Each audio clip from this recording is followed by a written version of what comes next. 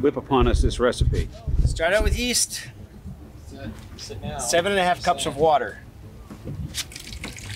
And we'll post the uh, recipe for 10 pizzas later in the comments of the video.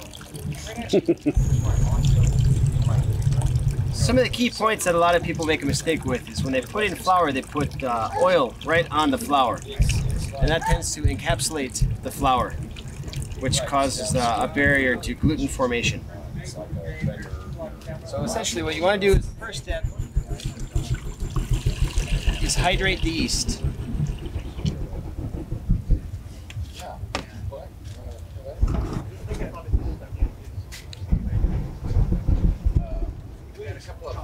So we'll come out.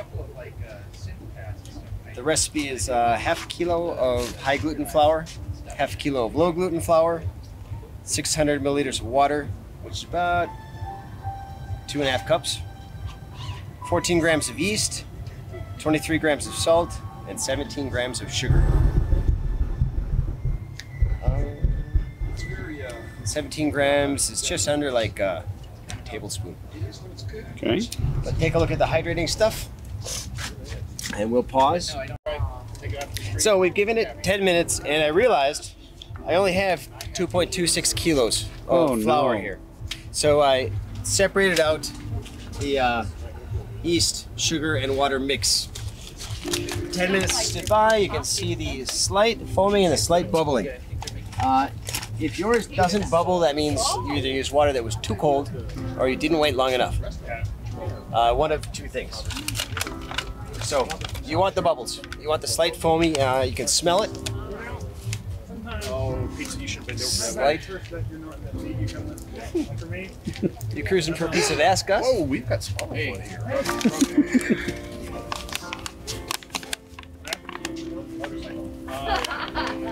How much are you having? Uh, I took it down to 2.26, then took out a little extra so I have some flour left to uh, make the pizza.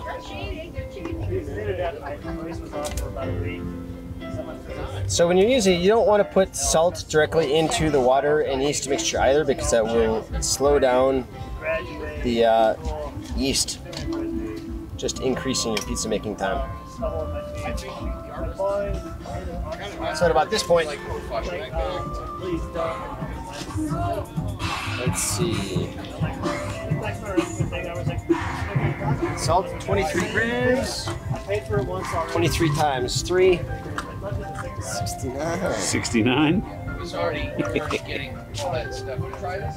So yeah, I have I on and off race. Go ahead. I, I have another race that keeps my Wait, wait, where do I get the Burning Man Keep Burning Man Eventually Fail shirts? Boxer. Special campus place. Yeah, I can still feel things popping. I don't think it's. Yeah, yeah. I'll find out when the X-ray. Matt? So since you want to start by uh, wetting down all of the flour, and you'll quickly see that the flour kind of goes to the edges. But if you got your portions right, you should have a decent dough fairly quickly. In the United States, you'll find that about 60% of pizzas are cooked are pepperoni, large pepperoni. In Japan, people like a variety, so they'd rather order four tiny pizzas than one large pizza. And we'd have stuff uh, teriyaki. We'll be doing a ranch-based pizza today too, Oh, that'd be cool. which is actually very good. Yeah. You know, we did a mayonnaise-based pizza with uh, mayonnaise and then cheese and bacon bits. And once it came out of the oven, it was covered with fried onions, Ooh. and it was actually extremely I good. also Yeah. fresh limes. They are not alcoholic. Do you tend to use heavy toppings, No, or light. that's you go light on the toppings? You let the flavor do the talking, Yeah. not the bulk of it.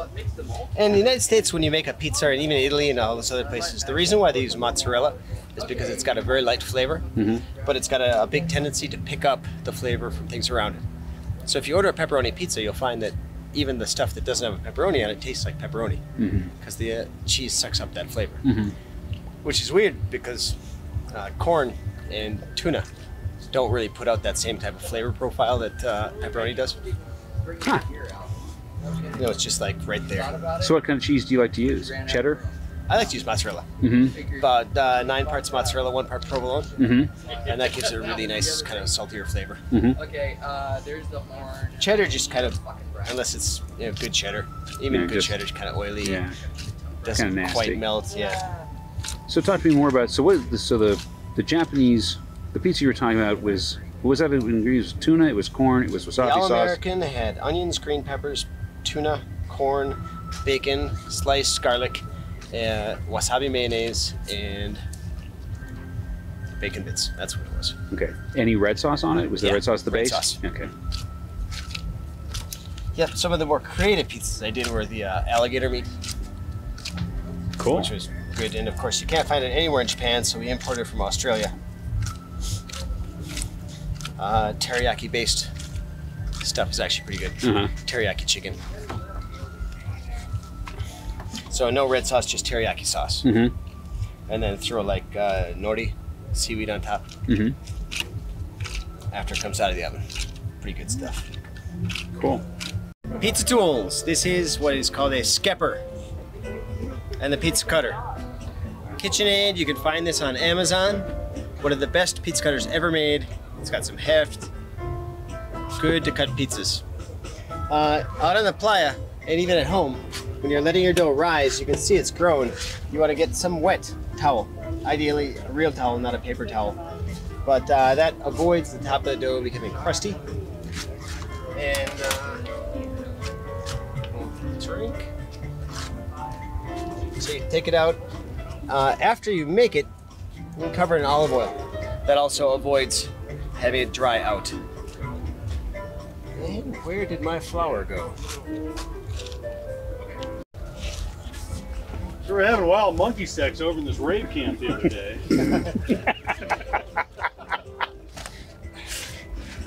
Uh huh. What was that? Uh, hey.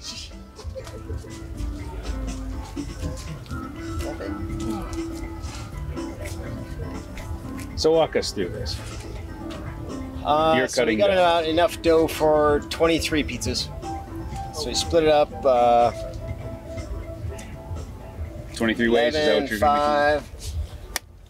Ideally, you want to scale and you want to Do we measure need to out. Hot the pizza sauce up. Sure. Dough balls. How big should the dough balls be? He asked, waiting for a smart ass answer. Do you think it- As big as you can take them. But uh, it depends on what kind of pizza you want. Uh, 10 inch pizza is about 230 grams, Okay. which we'll do the conversation later. Mhm. Uh, so you have your pizza dough, dough balls cut up. Let's see, one, two, three, four, five, six, seven, ten. That's a big one.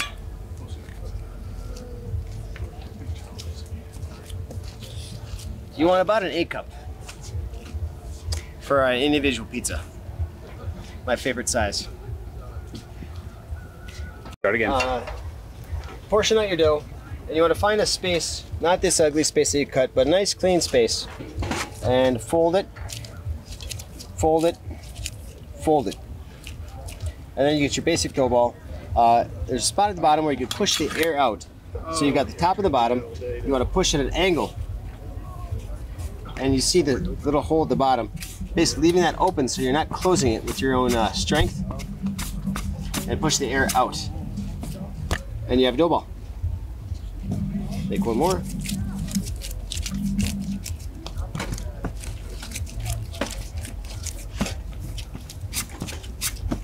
You can go. Dual entry.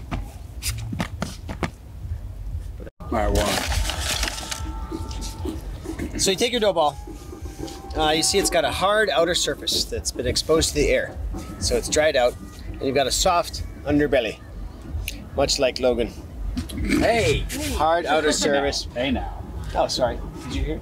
Uh, you press it down, and the object is to pull the soft underside out to the outside to make the edge of the pizza. So you can see the line comes up here and goes around there. If you push in the middle, the center gets too thin when you spin it out. So you want to go halfway between the middle and the edge, and just stretch back, stretch back.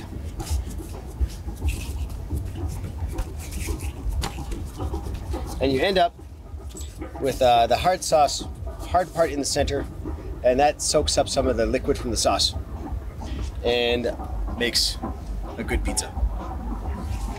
So do a little quickly, go around, remembering to avoid touching directly in the center. Otherwise, you have pizza that flops all over the place. Flip it over and do something called edge stretching. Slide one hand across while holding it with the other hand, and you're basically creating a trough so that when the sauce and cheese melts, uh, it gets somewhere to collect and it makes a well defined pizza ear.